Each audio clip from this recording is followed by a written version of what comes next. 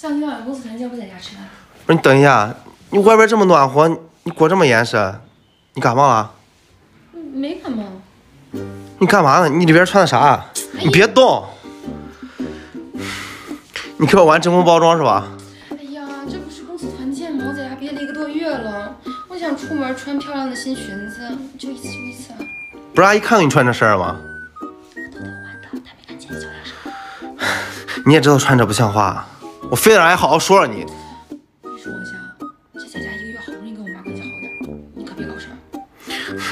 我就不信了，阿姨，你看我一穿的啥？她出去聚会，她咋了，王香？不是阿姨，你看里面穿的啥？她她要穿这个聚会穿的挺好看的吗。啊？你看我妈也是好看了。不不是阿姨，我主要我觉得这早晚温差大，我怕她感冒。王香，这我得说你了啊，她感冒她就感冒呗，你俩也没谈对象，他怎么穿什么衣服还得经过你同意啊？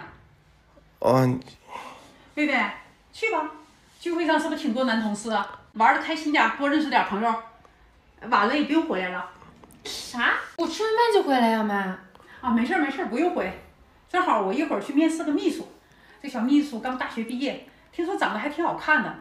哎，王向，一会儿正好你没事儿，跟我一块儿出去给我开个车吧。嗯啊啊，行啊，阿姨是。妈，你这什么意思啊？没什么意思啊，我这不寻你出去聚会、出去玩去嘛。正好我去面试这个小秘书，我看看工作上行不行。咱再想想，这也住了这么长时间了，如果呃工作不行，我先给王王香介绍介绍。啊咋的？不行吗，王香？啊！我也老大不小了，确实也该谈个女朋友了啊，那行，一会儿你也收拾收拾，咱们出门。啊！行，不是，等会儿你们去哪儿，我也要去。